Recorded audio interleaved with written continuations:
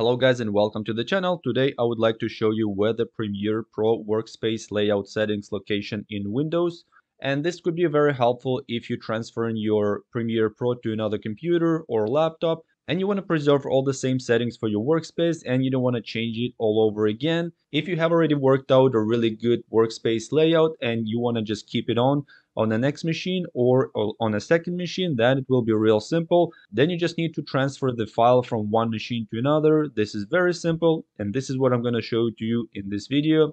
So let's get started and before we start, if you're new to the channel, please take a second to subscribe. This will help me a lot to grow my channel and bring you more interesting, helpful Premiere Pro videos.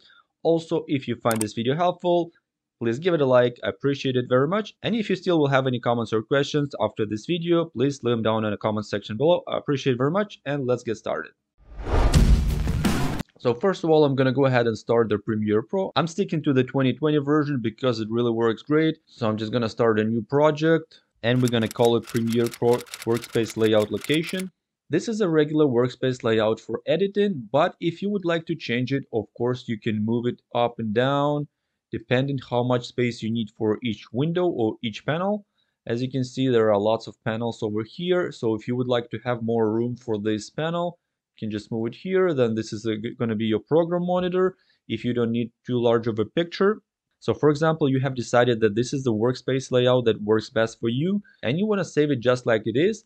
Go to the window, go to the workspaces, then click on the save as new workspace.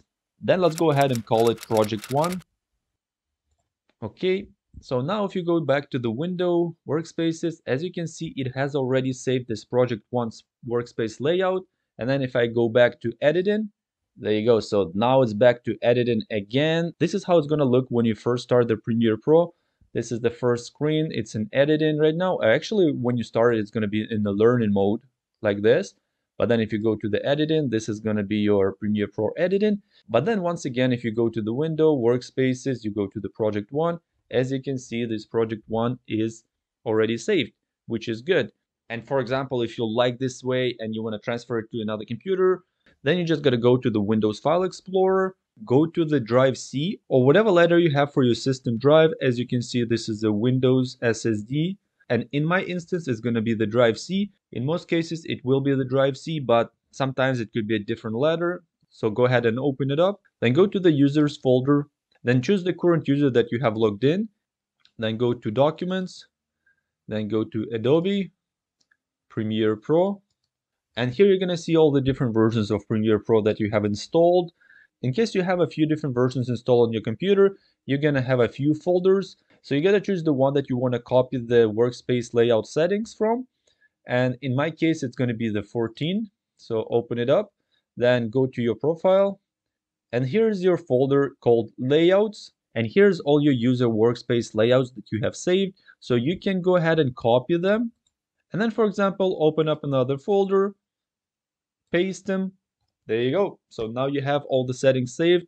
And then if you need to transfer it on a different machine, you just got to go to the same folder and then copy all these workspace settings back here and replace them. If there are already some saved, you just got to click replace and they're going to be replaced with these files. And then when you go to the Adobe Premiere Pro, you can go to the window, workspace, and you're gonna have all your workspace saved over here, which is really great, which is gonna save you a lot of time and you don't have to modify it all over again. Then also in this folder, if you go to this Win folder, this file is actually your keyboard shortcut layout file. So if you have saved some custom shortcuts, they're gonna be located in this file as well. And if you copy this file to your next machine, then you're gonna have the exact same shortcuts as before, which I really recommend doing because sometimes the shortcuts that you get in, they're not the best for everyone. You can save your custom keyboard layout preset. As you can see, I've done my here, Pulsar Tech. There are other presets here, such as Adobe Premiere Pro Default,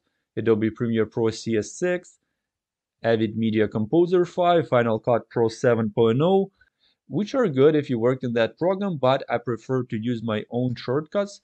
So this is where this file is located in case you need to transfer to a new machine. So yeah, this is it guys. I hope you find this video helpful. If you like it, please support it with your like. If you're new to the channel, please take a second to subscribe. If you have any comments, questions, drop them down in the comment section below. And if you have any suggestions what next Premiere Pro video you want me to make, please drop it down in the comment section below. I'll try to make it. But this is it for now. I hope you have a nice day. See you soon. Bye bye.